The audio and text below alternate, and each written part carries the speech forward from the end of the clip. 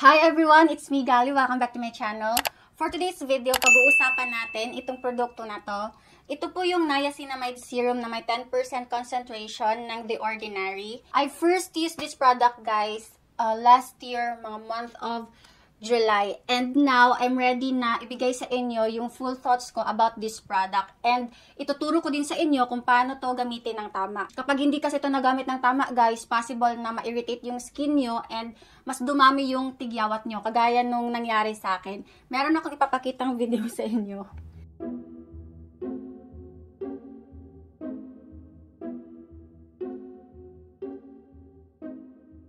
Pero bago po ang lahat, if you're new to my channel, I do a lot of makeup and skincare videos. Sometimes nag-vlog din ako. If that interests you, make sure you subscribe to my channel and click that bell so you will be notified uh, kapag may bago po akong video. Itong serum na to guys, meron tong two key ingredients, the niacinamide and zinc. Pero all in all, meron po tong 11 number of ingredients. Yung expiration date naman nito guys, 12 months after opening. Walang physical stores dito sa amin yung The Ordinary, pero you can purchase online.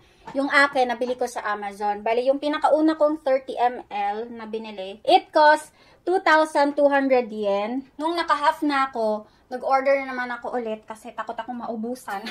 yung pangalawang bote ko, it cost 2,030 yen. Bale, mas nakamura ako ng 170 yen, kumbaga. When it comes to packaging, wala akong problema ang napansin ko, halos lahat ng serums and uh, acid treatment ng The Ordinary ay parehas lang yung packaging. Kanina, na-mention ko na itong product na to merong two key ingredients niacinamide and zinc. In the skincare world, niacinamide is an antioxidant. It is also known as vitamin B3.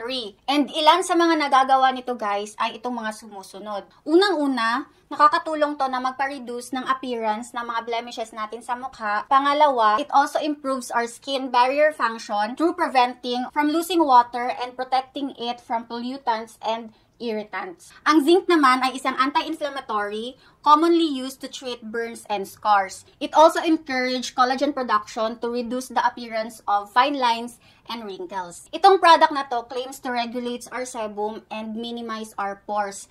Nung first time ko tong ginamit, guys, I experience a skin irritation. Meron akong ipapakitang picture sa inyo. Ayan.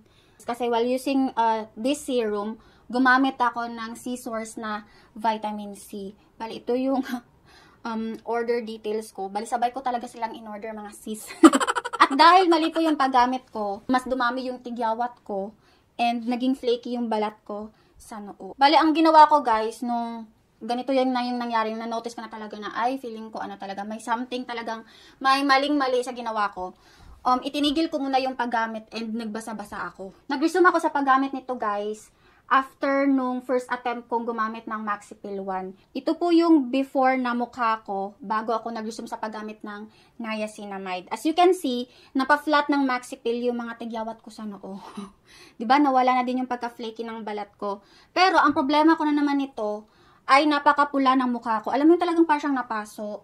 'Di ba sabi ko sa inyo na takot na takot ako nung first time ko gumamit ng Maxipil kasi napakainit, summer dito sa Japan last year and uh, in-advisean ako ng mga friends ko na itigil ko muna kasi baka magka, mag, magkaroon ako ng hyperpigmentation. Noong mga panahon na to guys, naisipan kong bumili ng lactic acid kasi nabasa ko and di ba napatunayan ko din sa review ko based on my experience na mas mas effective talaga si lactic acid na uh, ano bang tawag dito mag pa-even ng uh, skin tone and magpa-minimize ng pores.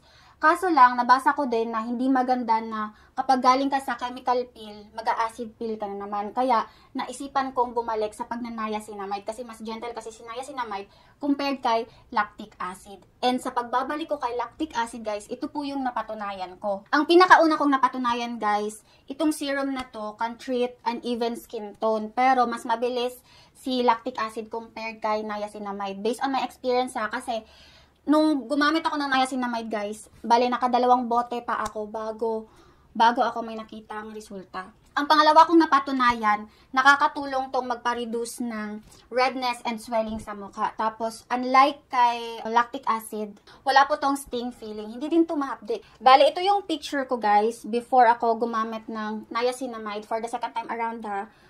Ayan, no, di ba, namamalat siya. Tapos, ang pula-pula niya. Tapos ito yung after. Bale, naubos ko na yung uh, dalawa kong 30 ml. Makikita nyo pa rin yung mga peklat ko sa mukha kasi hindi talaga main function ng product na to na magpawala ng peklat sa mukha. Pero, ang laki ng kaibahan, di ba? Nawala yung uh, pagka-flaky ng uh, balat ko dito sa pisngi. Tapos, hindi na din siya sunog tignan. Last year, month of November, malamig na dito sa Japan, pa-winter na.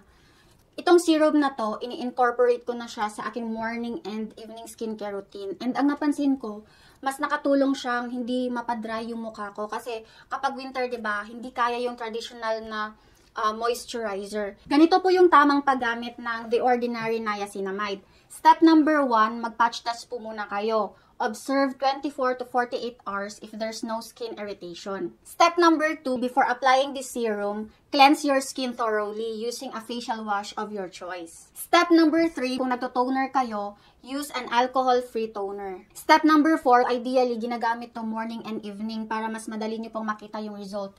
Pero, for example, kung ikaw ay kagaya ko na nalalagkitan gamitin yung 10% concentration during daytime, pwede mo tong gamitin during nighttime lang.